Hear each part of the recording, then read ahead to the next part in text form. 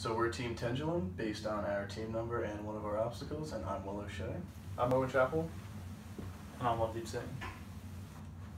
Throughout this presentation, we're going to go through uh, our mission statement, some of the processes we went through planning this product, the customer needs that we gathered, and the spe specifications that we developed through the customer needs, and also an economic, economic analysis of the product.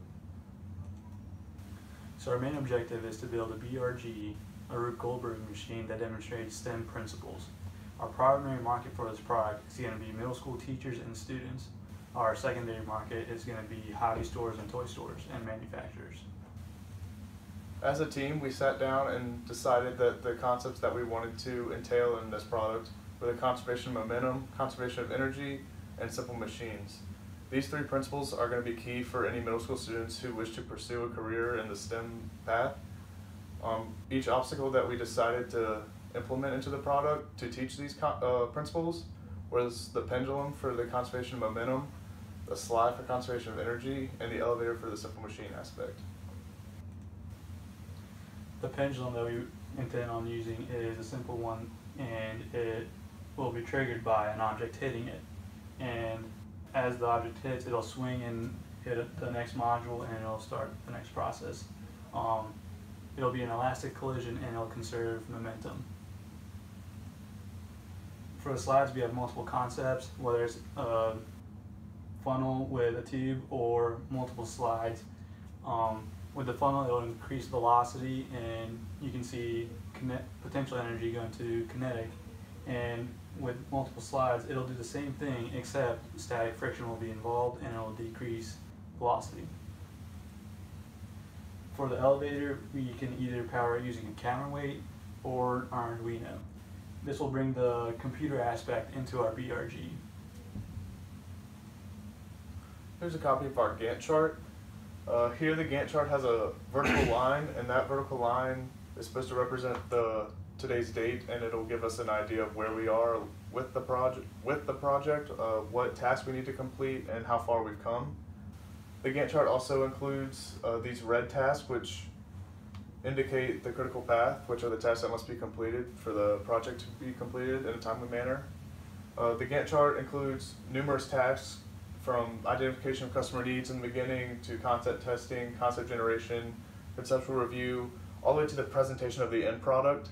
This Gantt chart is supposed to try to keep us on task, keep us on schedule to get this uh, product completed in the given time that we have. Uh, if we follow this, everything should run smoothly and we should have a good product at the end of the day. Our customer needs were identified through interviews and assessments. Uh, we've noticed that students have a short attention spans and students need a clear demonstration to grasp material. Um, classroom space is also limited as interviewed by teachers and students. Um, and students only pay attention when um, the material is interesting or the demonstration is aesthetically pleasing to look at. So by that, we've developed needs that need to be met for the product. It needs to be precise and quick, meaning it needs to be easy to set up and can run multiple times. Um, it doesn't take long to set up and it's compact, meaning size needs to be a factor. We're trying to keep it at two feet by three feet. Um, and again, the product needs to be aesthetically pleasing for the student, so it keeps their attention. So here we have our QFD diagram. This can, um, contains our customer needs that were gathered from the customer and our product specifications that we came up with. there are a couple symbols here that indicate which way we want to go with our product specifications. An arrow down means a lower number is better, so number of pieces, the less number of pieces will be easier to set up and it'll run faster. Um, higher, max height, the higher the thing goes, it's more entertaining for the kids.